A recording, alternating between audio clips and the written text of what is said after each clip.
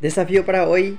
Y si en vez de estar hablando de la vida de otras personas, o en vez de estar hablando hasta de tu propia vida, ¿por qué mejor no hablamos de la vida de Cristo? ¿Te parece? ¿Aceptas el desafío?